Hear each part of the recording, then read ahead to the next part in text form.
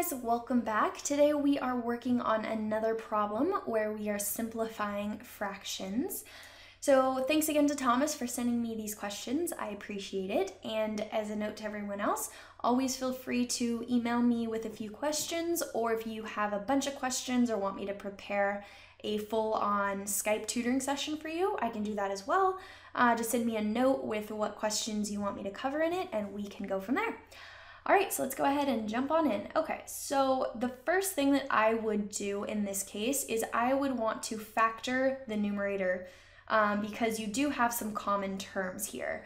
So the first thing I would do is I would pull out the greatest common factor of 8 and 24, which is 8 itself. Then I would pull out the greatest common factor for my x terms, so that's just going to be x. Next, I will pull out my greatest common factor of my y terms, which is going to be y squared.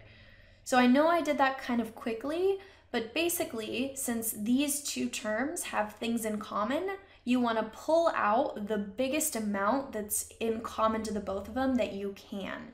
So I could have pulled out a 2, for example, from the 8 and the 24, but I had something bigger. I also could have put, pulled out a 4, but I had something bigger. So you want to try to go as big as you can and pull that out. So that's why I chose an 8. Similarly with the x's, I have one x here and I have three x's here. So actually I can break this down even a little bit further. So this here is equal to 8 times x times x times x times y times y times y times y minus 24x y y. So now, and I could have broken these numbers down into their factors, but that would have taken a little bit longer. So we'll just assume that you got where the 8 came from. So now, since there's only one x here, I can only take one x from here. So those ones are in common. Similarly, we have two y's that are in common. So now I can write it here. And this is actually a good method because now you can see what's left. So you can see what's, I guess, factored out. So I took this 8 away too, and um, this would be a 3. So now all I really have to do is look at, I have two x's left, so that's an x squared, and then I have these two y's left, so that's a y squared.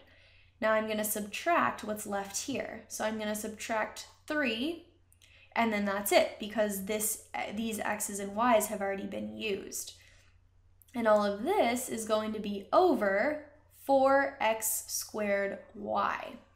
So now I can go ahead and cancel between this 8x squared, sorry, 8xy squared term and this term here. So the 4 is going to be able to reduce with the 8, and I'm going to be left with a 2 in the top. One of the x's is going to cancel out, and then this y is going to cancel with one of these y's. So in the top, I now have 2y times x squared y squared minus 3, and this is going to be over x. And that's really all I can do now. I can't do anything with these x's because they're not being multiplied. I can only reduce with things, with terms that are being multiplied. So this here is going to be our final answer. I think I'm going to go ahead and give you guys one more um, easier problem just quickly, just to kind of reiterate what I was saying. So let's say you have something like, let's just say you have 4x squared um, y minus um, 6x to the fourth, y to the third, all over 2xy. So if you were asked to simplify this, again, the first thing you would do is factor the numerator. So the greatest common factor of 4 and 6 is 2, so I would pull a 2 out.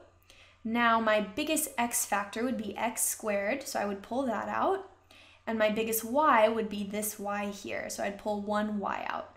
Now I have to multiply by what's left. So since I took a 2 away from this 4, um, I'm going to be left with a 2. I'm essentially just dividing, by the way. I took an x squared from the x squared, so there's nothing there, and I took a y from the y, so there's nothing there either. So now I'm going to subtract, and I'm going to do the same thing. So I'm going to be dividing here. So 6 divided by 2 is 3. x to the fourth divided by x squared is just x squared, and y cubed divided by y is y. And then this is going to be all over 2xy. So now I can go ahead and simplify this way. So the 2's are going to cancel out. The x is going to cancel with one of these x's, and the y's are going to cancel. So now I got I canceled everything in the denominator. I have this 1x here, and then I have this 2 minus 3x squared y. And this here would be our final answer. So hopefully that was helpful. Um, if you do still have a question, leave me in the comment box below and I will get to it. Or if you even want me to make another video going over a few of these problems, I can do that as well. So thank you guys so much for watching. If you did find this video helpful, please like and subscribe. And I would also, I also want to invite you guys all to join our Facebook group that I just created. It's going to be a really awesome place for you guys to help each other out, and I will be there to help you guys as well. So I really look forward to seeing you guys over there, and I will see you next time.